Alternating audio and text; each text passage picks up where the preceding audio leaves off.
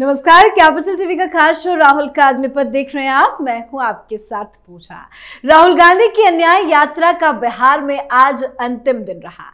जहाँ सासाराम में राहुल गांधी की न्याय यात्रा में रथ के सारथी की भूमिका में नज़र आए तेजस्वी यादव। यात्रा सासाराम ज़िले, कैमूर ज़िले के रास्ते उत्तर प्रदेश में एंट्री ले चुकी है। आज यूपी में प्रियंका गांधी भी यात्रा में शामिल होने वाली थी, पर प्रियंका गांधी की तबीयत खराब होने के कारण उन्हें अस्पताल में भर्ती कराना पड़ा, जिस कारण प्रियंका यात्रा में शामिल नहीं हो पाई। पर यूपी में एंट्री लेने से पहले ही राहुल गांधी को बड़ा झटका लग गया। सत्रह फरवरी को यात्रा उत्तर प्रदेश के बदोही में पहुँच रही है, लेकिन राहुल गांधी के काफिले को ठहरने के लिए प्रशासन से अनुमति नहीं मिली। अब राहुल अपने काफिले समेत मुंशी लाटपुर के खेत में रुकेंगे। तो बिहार से होते हुए यूपी पहुँचे राहुल गांधी को क्या क्या झटके लगे हैं, बताएँगे आपको। साथ ही बैंक खाते फ्रीज होते ही कांग्रेस पार्टी ने, राहुल गांधी ने किस तरह से आज बवाल काटा, उस पर भी चर्चा करेंगे। मेरे साथ स्टूडियो में मौजूद है कैपिटल टीवी के executive editor Rajiv ji. Sir आपका बहुत बहुत स्वागत है। शुरुआत बिहार से ही करते हैं क्योंकि आज बिहार में आखिरी दिन रहा। तेजस्वी यादव यात्रा में शामिल हुए। दोनों की तस्वीरें आई सारथी भी बने। क्या संदेश देना चाह रहे थे? जिसके सारथी दुर्योधन हो उसकी पराजय तो स्वाभाविक हो जाती है। अगर देखा जाए तो सारथी दिशा निर्देश देता है दिशा दिखाता है। इसलिए भगवान श्री कृष्ण ने पूरे महाभारत के युद्ध के दौरान अर्जुन के सारथी बनने का प्रण लिया। और वो शस्त्र न उठाने के बावजूद पूरे महाभारत के युद्ध के दौरान केंद्र में बने रहे। अब जब सारथी कौन है? तेजस्वी यादव जिसके अपना भविष्य अंधेरे में है जिसको सहारा चाहिए होता है कभी भी सत्ता में आने के लिए नीतीश कुमार जैसे लोगों का वो सारथी राहुल गांधी को क्या दिशा दे सकता है? बिहार के अंदर अगर तेजस्वी यादव दिख रहे हैं उसमें भी सासाराम में औरंगाबाद में अगर देख रहे हैं राहुल गांधी के साथ तो कांग्रेस जो कि औरंगाबाद सासाराम के क्षेत्रों में कभी सांसद बना पाती थी जगजीवन राम का एरिया और मीरा कुमार भी वहाँ से सांसद रही हैं तो उस क्षेत्र में कांग्रेस का बचा खुचा दो चार परसेंट जो वोट है वो भी खिसक कर चला गया। क्योंकि बिहार में जिस तरीके से ये लोग बार बार कास्ट सेंसस कास्ट सेंसस की बात कर रहे हैं, राहुल गांधी ये समझ नहीं पा रहे हैं कि जहाँ पर जातीय जनगणना हो चुकी है, वहाँ हम जातीय जनगणना की बात क्यों कर रहे हैं? अब रिजर्वेशन की बात कीजिए, रिजर्वेशन तो सबको मिल ही रहा है। रिजर्वेशन, इन रिजर्वेशन की बात हो रही है कि पिछड़े वर्ग, अति पिछड़े वर्ग के वो लोग जो कि पीढ़ी दर पीढ़ी रिजर्वेशन का फ़ायदा उठा रहे हैं। आईएएस आईपीएस अधिकारी बन चुके हैं जिनके घरों में अब रिजर्वेशन की ज़रूरत नहीं है आगे बढ़ने के लिए उन लोगों को इस दायरे से कैसे निकाला जाए? ये लेयर्ड रिजर्वेशन की बात हो रही है। पीएम मोदी ने इसलिए इशारा किया था कि कर्पूरी ठाकुर को भारत रत्न दो। जो। लेयर्ड रिजर्वेशन की बात करते थे कि हर वर्ग में अलग अलग तरीके से उन ओबीसी की जातियाँ जो मज़बूत हो चुकी है उसके लिए कितना होगा?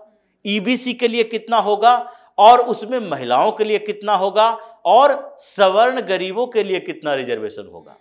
ये सारी परिकल्पना तो धीरे धीरे पूरी हो रही है। तो अभी राहुल गांधी बिहार में जैसा इम्पैक्ट दिखा के आए हैं उससे तो लगता है कि कांग्रेस के लिए बिहार में अगले चुनाव के अंदर एक सीट जो पिछली बार मिली थी वो भी नहीं मिल पाएगी। अब उत्तर प्रदेश में आएँगे उससे पहले एक हंगामा क्रिएट कर दिया। हंगामा क्या था? ये एक विक्टिम कार्ड खेलने की कोशिश थी, क्योंकि कांग्रेस ये जानती है कि आईटी ट्रिब्यूनल के साथ नेगोशिएशन विवेक टनका कर रहे हैं। लीगल मामले के, इन कांग्रेस पार्टी के अंदर लीगल मामलों के जानकार माने जाते हैं, इसलिए उनको राज्यसभा भेजा जाता है, मध्य प्रदेश के लीडर है, और वो ट्रिब्यूनल के साथ नेगोशिएट कर रहे हैं ट्रिब्यूनल राहत देगी। लेकिन कुछ समय के लिए अगर नेगोशिएशन से पहले आपने जो आधार दिया था उसके अनुसार फ्रिज किया गया तो ये बवाल खड़ा करने की क्या ज़रूरत है? लेकिन बवाल थोड़ा मोड़ा नहीं बहुत ज़्यादा बवाल देखने को मिला।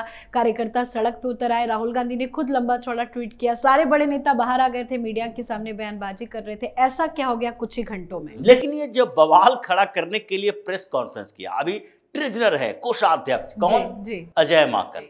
अजय माकन खुद ही पार्टी छोड़ने वाले हैं ऐसा संकेत मिलने वाला है। कुछ दिन में ही संकेत मिलेगा।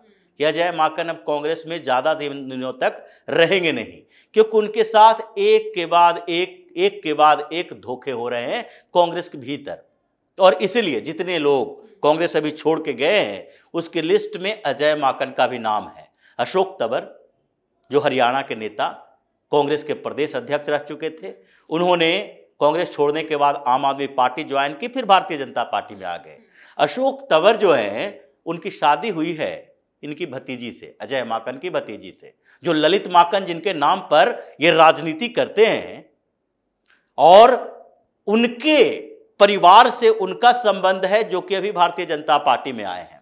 अब अजय माकन की स्थिति देखिए, अभी मीडिया के सामने आके ऐसी बड़ी बड़ी बातें कर रहे हैं कि कांग्रेस जैसे लगता है कि अब ट्रेजरर बनने के बाद पूरा पैसा कांग्रेस का इन्हीं के खाते में चला जाएगा इनके साथ क्या हुआ कांग्रेस में?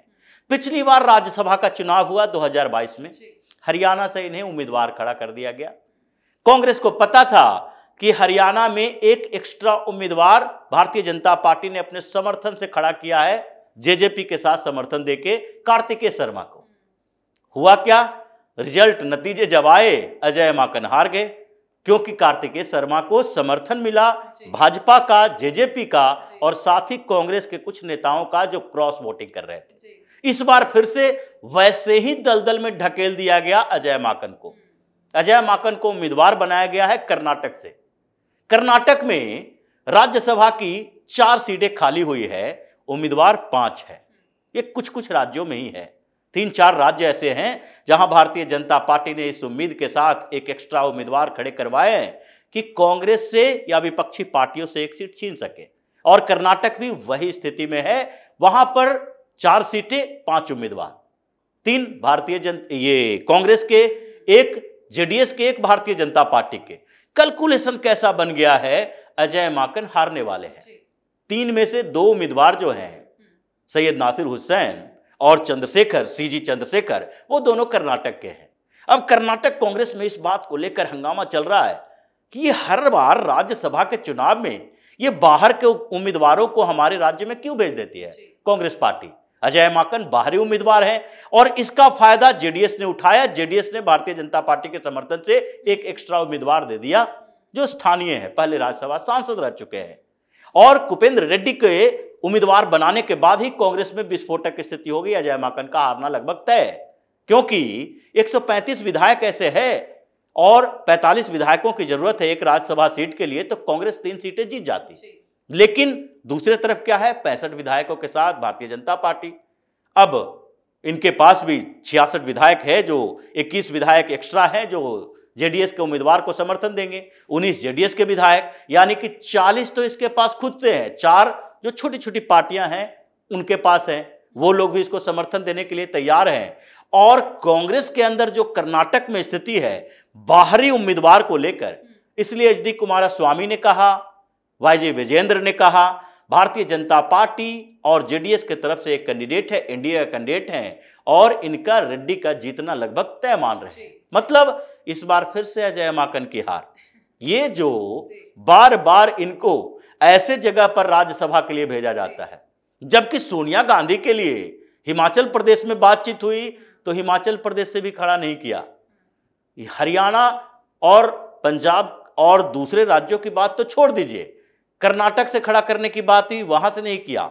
एक सुरक्षित जगह लाया जाएगा राजस्थान, जहाँ पर एक सीट जितना तय है। लेकिन अजय माकन को भटकाया जा रहा है और ये इस बार जो हार गए तो फिर इनकी स्थिति वैसे ही अशोक तो अशोक चौहान जैसे फैसला ले सकते हैं। बिल्कुल अशोक चौहान जैसी स्थिति हो जाएगी। अशोक चौहान राज्यसभा में और इतने दिनों तक अजय माकन चिल्लम पो मचा रहे हैं वो राज्यसभा से बाहर। तो कोषाध्यक्ष बन के बैठे रहो। ये भारतीय जनता पार्टी नहीं है ये कांग्रेस है। तुम्हारा इस्तेमाल करेगी और फिर कचड़े कूड़े के डब्बे में तुम्हें फेंक देगी। ये हंगामा मचाते हुए जैसे ही इन लोगों ने प्रेस कॉन्फ्रेंस किया उस समय ये भी बता रहे हैं एक लाइन के अंदर कि हमारे जो लीगल टीम है विवेक टनका उनको उनका नेतृत्व कर रहे हैं वो नेगोशिएट कर रहे हैं आईटी ट्रिब्यूनल से। तो नेगोशिएट कर रहे हैं तो इंतज़ार कर लो। फैसला आने तक। इंतज़ार नहीं किया कहने की डेमोक्रेसी फ्रीज डेमोक्रेसी की ही फ्रीज कर दिया।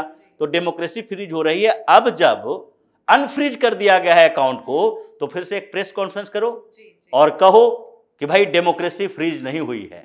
डेमोक्रेसी की हत्या नहीं हुई। ये आईटी बिल्कुल स्वतंत्र तरीके से फैसला हालाँकि जब अनफ्रीज हुए अकाउंट तो राहुल गांधी का ट्वीट आया वो कह रहे हैं मोदी जी हम डरने वाले नहीं हैं हम लड़ेंगे हमारी जीत होगी। हाँ हाँ बिल्कुल। ये तो लड़ ही रहे हैं। 2014 से अब तक लड़ ही रहे हैं। इनका पेशेंस देखिए हारते हारते भी हम हारेंगे नहीं डरेंगे नहीं। डरते डरते भी ये कहते हैं कि हम डरने वाले नहीं हैं। अब कैसे डरोगे? अब हर जगह पर तुम्हारी फजीहत हो रही है उत्तर प्रदेश आने से पहले प्रियंका गांधी बीमार पड़ गई है। आखिरकार प्रियंका गांधी ये चंदौली वाले एरिया में क्यों नहीं जा रही है? क्या रायबरेली अमेठी वाले एरिया में ही जाएँगी? बीमार पड़ गई हैं। कौन सी ऐसी बीमारी हॉस्पिटलाइज हो गई हैं? कि जा नहीं सकती ऐसे तो बीमारी की तो अवस्था में भी गांधी की बीमारी की कोई खबर नहीं सामने आती थी। आज यात्रा में शामिल होना है तो खबर आ गई कि अस्पताल में एडमिट हो गई है। घूम घाम के आई पूरी यात्रा के दौरान वो नहीं रही। और कहाँ कहाँ घूम के आई अपने प्लानिंग करके आई उसके बाद राजस्थान जाने के लिए मम्मी के साथ जाने के लिए ठीक थी। और जैसे ही उत्तर प्रदेश में यात्रा एंट्री की तो पहला दिन हम बीमार पड़ गए हैं। बाद में प्रेजेंस दिखा देंगे कि हम भी इसमें शामिल सर मेरा आखिरी सवाल आपसे ये है कि अलग अलग राज्यों में होते हुए अब ये यात्रा यूपी में एंट्री ले चुकी है। एक रात्रि विश्राम के लिए जो जगह निर्धारित की गई थी वहाँ पे प्रशासन ने परमिशन नहीं दिया है। अब राहुल गांधी कहीं और रुकेंगे। योगी राज में राहुल गांधी है। थोड़ी सी भी चूक कितना बड़ा, बड़ा भारी पड़ने वाला है। देखिए जिस तरीके से असम में हुआ ये राहुल गांधी या कांग्रेस की टीम जो है ये जानबूझकर इस यात्रा को कंट्रोवर्शियल बनाने के लिए ऐसे ऐसे काम करती है। मीडिया में एक खबर आई कि प्रशासन ने अनुमति नहीं दी। प्रशासन क्यों एक पार्टी की यात्रा के लिए सरकारी जगह ज़मीन या कॉलेज स्कूल का स्थान देगी जहाँ पर आप जाओ भीड़ लगाओ और गंदगी फैला के दूसरे दिन आगे बढ़ जाओ। परीक्षा का वक्त चल रहा है। परीक्षा का वक्त चल रहा है। राहुल गांधी की टीम खुद कह रही है कि हम कट कर दिए यात्रा को क्योंकि यहाँ बोर्ड की परीक्षा चल रही है। तो ऐसे समय में ये तो किया ही जाएगा कि आपको सार्वजनिक जगह नहीं दी जाएगी। आप किसी निजी प्रॉपर्टी में रुको कोई मना कर रहा है। शादी के लिए सब लोग कहे कि नहीं नहीं सरकारी गेस्ट हाउस ही बुक हो। आपके लिए मैरिज हॉल बने हैं होटल है। हर जगह पर आप रुकने की व्यवस्था कर सकते हैं। करोड़ों रुपया ये बस में कंटेनर में ये सारे चीज़ों में खर्च कर सकते हैं। तो रेंट पे जगह ले लो जहाँ जहाँ आपको रुकना है। सरकारी जमीनों का उपयोग करने के लिए क्यों दिया जाएगा? अभी ये समय है। योगी अभी शांत बैठे हैं, क्योंकि ये जानते हैं राहुल गांधी कि ये पूर्वांचल से होता हुआ, बनारस से होता हुआ, अगर हम जब तक पश्चिम उत्तर प्रदेश में नहीं आएँगे, हमारी औकात ज़ीरो है। ये कंट्रोवर्सी क्रिएट करने की कोशिश करेंगे पश्चिम उत्तर प्रदेश में, जहाँ मुसलमानों की आबादी ज़्यादा है। जिस तरीके से असम में किया। असम में उन्हीं क्षेत्रों को टारगेट किया, जहाँ पर मुस्लिम थे और वहाँ पर जाकर एक रकस क्रिएट करो ऐसा माहौल तैयार करो कि हम मुसलमानों के अधिकारों के लिए लड़ रहे हैं। अब यहाँ पर समस्या योगी के लिए नहीं है समस्या अखिलेश यादव के लिए है जो कह रहे हैं हम यात्रा में जाएँगे। जाओ यात्रा में और तुम जिसको अपना बड़ा वोट बैंक मानते हो उसी में सिंधमारी करेगा और उसके बाद तुम चिल्लाओगे उसी तरह जैसे ममता बनर्जी अभी तक चिल्ला रही है कि कांग्रेस वाले आके हम मुसलमानों को में फूट डालने की कोशिश कर रहे हैं। बहुत बहुत धन्यवाद सर समझाने धन्यवाद। तो इनकम टैक्स विभाग ने कुछ घंटों के लिए कांग्रेस पार्टी के बैंक खातों को फ्रीज किया तो हाहाकार मच गया। राहुल गांधी ने जमकर बवाल काटा ट्वीट कर लिखा कि डरो मत मोदी जी कांग्रेस धन की ताकत का नहीं जन की ताकत का नाम है। हम तानाशाही के सामने ना कभी झुके हैं ना झुकेंगे। भारत के लोकतंत्र की रक्षा के लिए हर कांग्रेस कार्यकर्ता जी जान से लड़ेगा। हालाँकि अकाउंट को अनफ्रीज भी बाद में कर दिया गया पर कांग्रेस ने इसे लोकतंत्र फ्रीज करा करार देते हुए जमकर उत्पात भी मचाया। इस पर आप अपनी राय कमेंट कर लिखें। देखते रहे क्या पचल टीवी। नमस्कार।